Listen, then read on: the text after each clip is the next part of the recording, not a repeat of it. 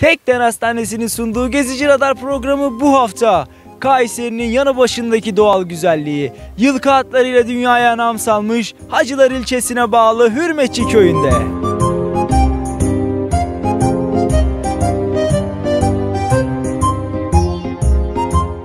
Tekden Hastanesi Gezici Radar programını sunar.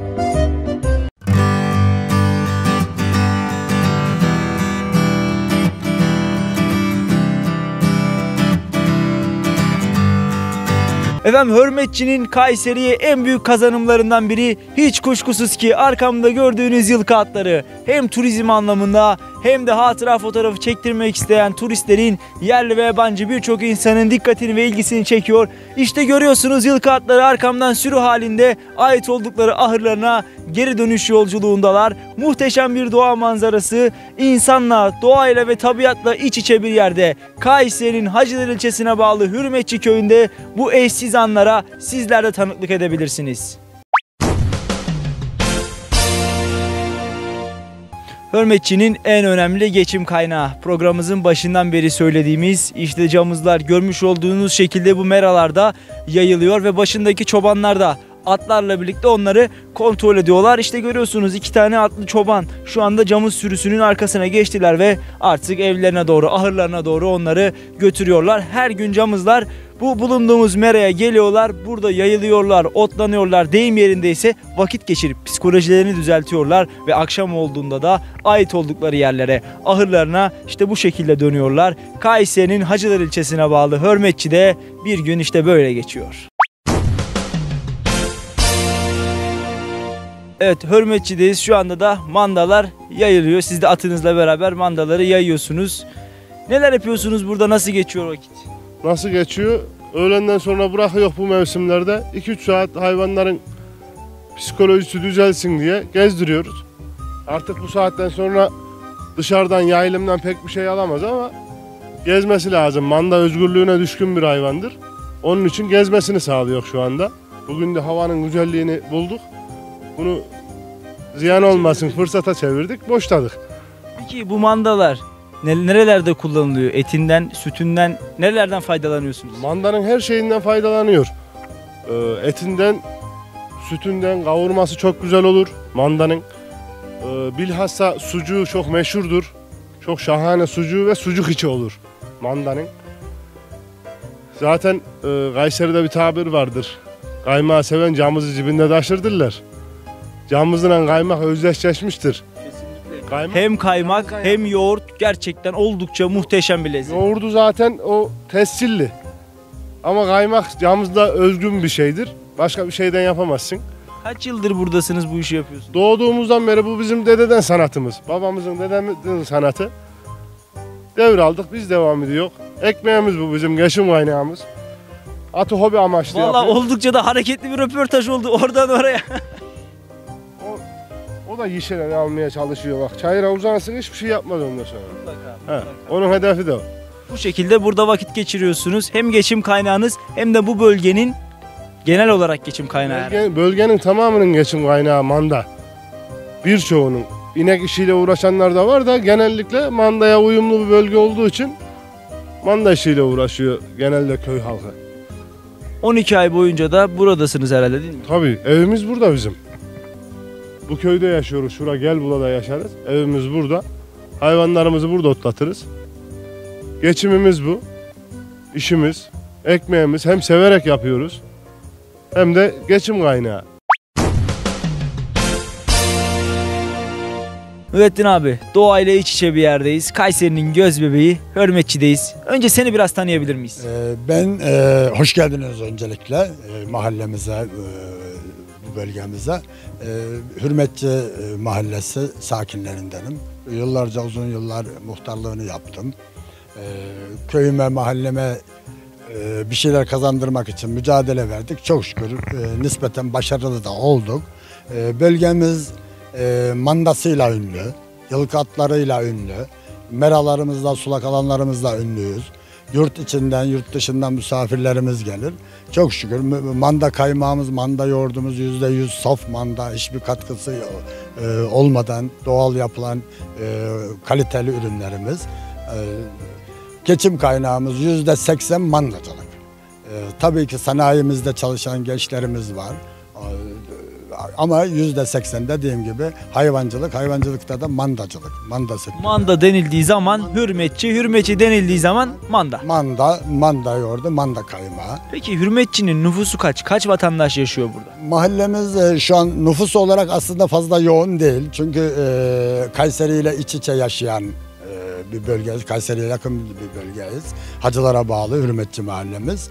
E, 600 civarında nüfusumuz var. E, mahallemiz küçük bir mahalle ama e, dediğim gibi e, mandasıyla, yılkı atlarıyla ünlü inşallah daha da e, gelişmesi için elimizden gelen çabayı gösteriyoruz.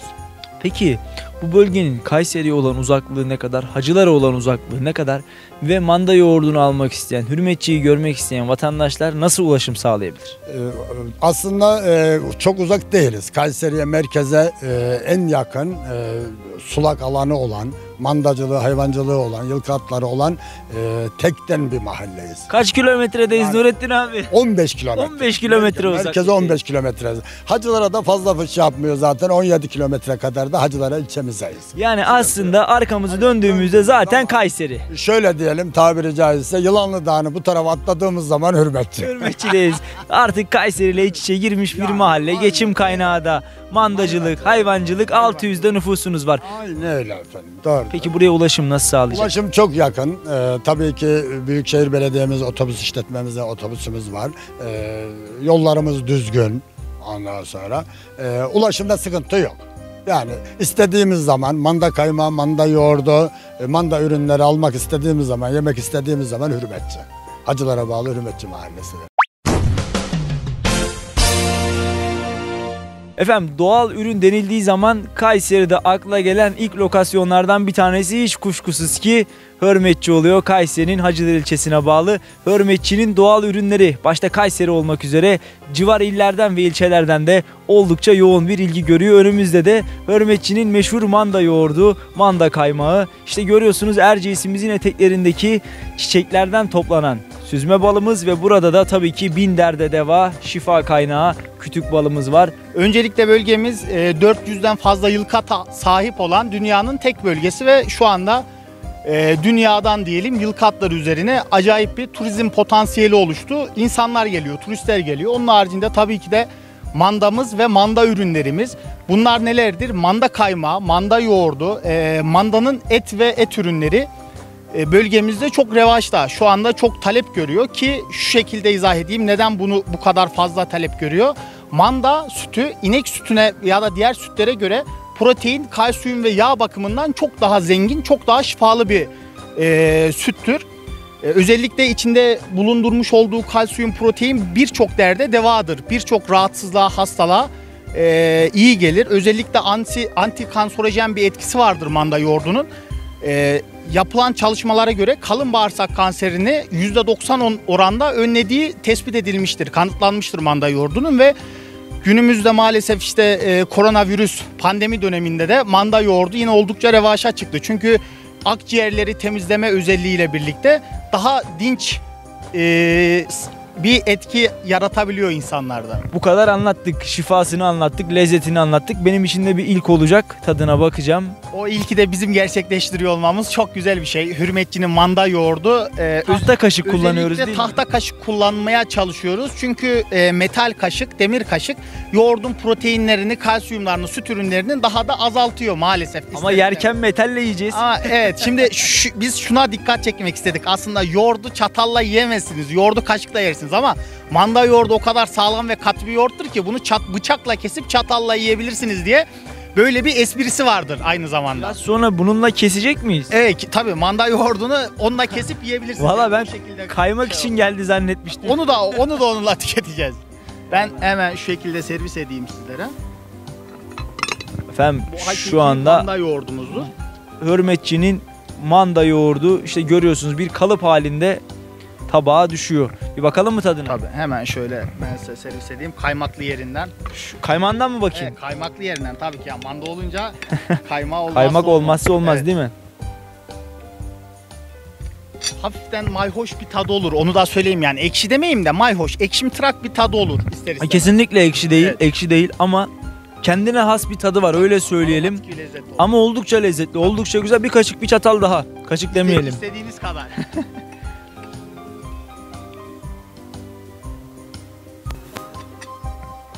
Hemen ben isterseniz ardından kaymağımıza e, değinelim. Valla şunun lezzetini bir sindireyim, bir hazmedeyim. Çünkü olsun, oldukça tabii. güzel gerçekten ve faydası da Çok saymakla bitmiyor efendim. Eğer manda yoğurduna, doğal manda yoğurduna ulaşmak istiyorsanız hiç kuşkusuz ki ilk durağınız Kayseri Hürmetçi olmalı diyelim. Kaymağa bakalım mı? Kaymağımıza geçelim. Şimdi kaymak sade de yenilebilir Ekmeksiz ama mi yiyeceğiz? ekmeksiz isterseniz ekmek de getiririz ama ekmeksiz balla tabii ki de onun daha tadını alabilmeniz için şey, daha iyi olur. Önce süzme balımızdan ben üzerine biraz gezdireyim. Ardından Tamam. da yanına karakoğan Kara, petek balımızdan Karakovan'ın süzme Evet. balı. Aynı petek karakoğan petek balımızın süzmesi. Normalde bunu dediğim gibi daha önce de dediğim gibi bulamazsınız kolay. Birazcık birazcık Zor, pahalı evet. çünkü. Şöyle kaymaktan başlayayım. Evet değerli izleyenler gerçekten muhteşem bir lezzet. İşte görüyorsunuz Örmetçi'nin balı, kaymağı ve manda yoğurdu. Hmm. Şimdi burada bir mahoşluk vardı. Evet. Burada da bir tatlılık var. Kaymakta Kaymakta da bir tatlılık olur. var. Baldan ziyade kaymaktan. Oldukça güzel. Yani balın tatlılığı değil. Kaymağın Kaymağın kendine kendi ait bir tatlılığı var. Sütlü Nedir tatlı. bunun kay- kaynağı? Şimdi şöyle söyleyeyim. Kaymak e, tüm Türkiye'de farklı şekillerde yapılır. Birçok yerde aynı şekilde yapılır ama Hürmetçi'de çok farklı şekilde yapılıyor. Yani Hürmetçi'de yapılan kaymak Kayseri'de dahil farklı ille, bölgelerde, illerde de yapılmıyor bu şekilde. Siz anlatırken ben biraz daha Tabii tabii siz devam edin. Ben de kaymağın yapımına değineyim. Olur değerli izleyiciler sizler için tabii tadıyoruz. Yolunuz düşerse gelin diye tadıyoruz. Önden bilgilendiriyoruz. Şimdi kaymak e, öncelikle saf manda sütünün odun ateşinde pişirilmesiyle başlar kazanlarda, ocaklarda. E, kaynamaya başlayan süt saplı dediğimiz uzun sürahiler yardımıyla savrulur. Burası çok önemlidir çünkü sütü ve yağı birbirinden ayıran işlem budur. Yukarıya doğru savuracağız ki uzun süre boyunca yağı sütünden ayıracağız. Ardından e, kaynayan sütümüzü savurduktan sonra 10-15 litrelik e, leğenlerimizi alacağız. Alüminyum leğenler olacak bu. E, ardından 10-15 litrelik aldığımız e, sütümüzü közün üzerine, alüminyum leğenleri közün üzerine koyacağız.